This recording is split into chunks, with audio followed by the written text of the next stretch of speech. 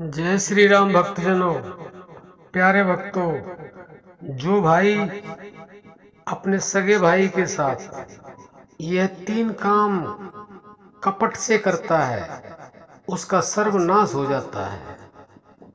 भक्तों, बड़े ध्यान से सुनना और समझना और विचार करना।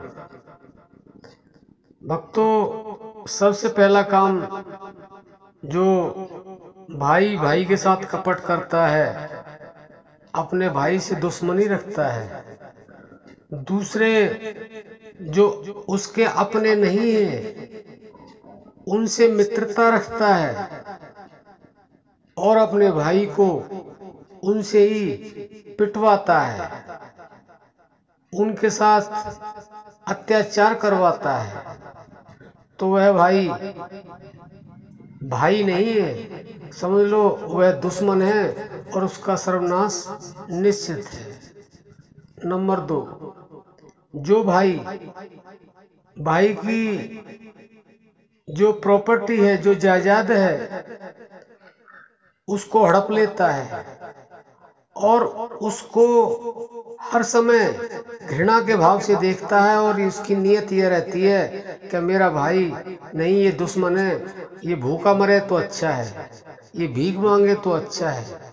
तो भक्तों, वह भाई भाई नहीं है, वह दुश्मन है, उसका सर्वनाश निश्चित है। और तीसरी और अंतिम बात क्या है?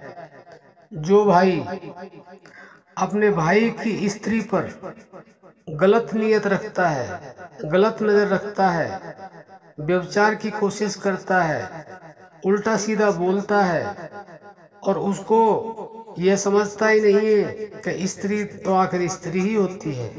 स्त्री तो एक तरह से माता रूप होती है, बहन रूप होती है, बेटी रूप होती है।